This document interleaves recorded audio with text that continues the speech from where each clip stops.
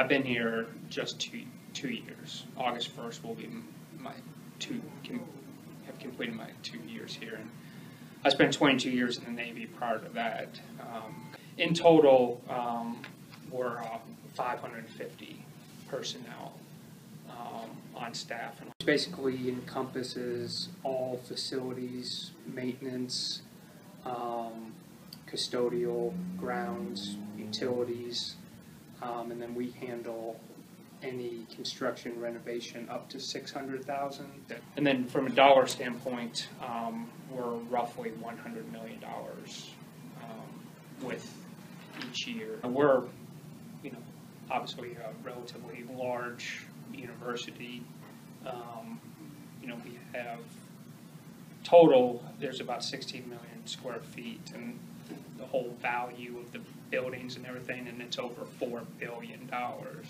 So it's definitely a large scale, you know, um, university effort from a facility standpoint. Uh, we clock in at, at 7 o'clock, uh, get everything ready. We get our uh, lawnmowers and stuff and, everything ready and ready to go on our, in our areas. Well, we take care of all the grounds. You know, we mow the grass. Pretty much anything needs to be done outside. We uh, weed eat, water, plant, whatever needs to be done on the grounds. We Right. take care of it. Yeah, depending. Some people have areas. Other people don't have areas. They just kind of do odd jobs. But the Right. people have areas. We do pretty much everything you see out there. Uh, John Shoulders, uh, 29 years.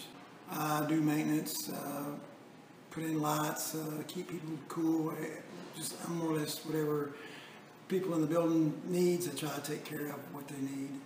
Oh, well, uh, it's been been here eight years and uh, it was uh, over Fansteel uh, in the factory job. And uh, they got bankrupt. So from 2005 to today, I'm, I'm here still keep keeping keeping busy. Mom, she's employed. She works at the uh, the clinic down there. And Mm-hmm. then she just said you might as well try. And then I mean you can't beat the benefits and stuff here. So My name's Mike Rodas. I take care of Maxwell Place, which is the president's home. Actually, I used to run a garden center at Kmart for about 11 years, and then when uh, I took a hiatus from that, and I went back to going back to taking care of gardening and grounds, and just so hadn't worked out to where they were needing help when I was looking for a position here four years ago. Yeah, they beat your. I mean, they meet your um, retirement. You put in one dollar, they put in two. You get all your medical, dental, health, everything, all that kind of stuff's included. Well, we do a little bit of everything. We, you know, we, uh, fix toilets, we, uh, fix the fan coil units, uh, lighting, um, just a little bit of everything. We have um, about 80 people work each football game. We're there like six to eight hours before the game, and then probably another, uh, you know, a couple hour, an hour or two after the game. Then we come in the next day and kind of do the cleanup and everything as well. But when it, people don't realize, like in the wintertime, you know, they just think all we do is mow, plant flowers and stuff.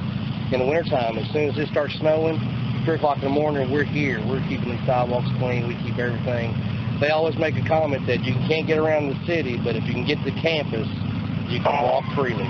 You don't get into facilities management for all the pats on the back because usually you don't get many. Everybody, you know, around here gets along pretty well. I mean, you wave, you know, all the UK people, whenever they see somebody, you know, they wave. Some people, not so much, but I mean, you know, every so often you get one person walk by and say, you know, grass looks nice, it looks nice out here. So Right. It makes you feel good whenever somebody says something to you.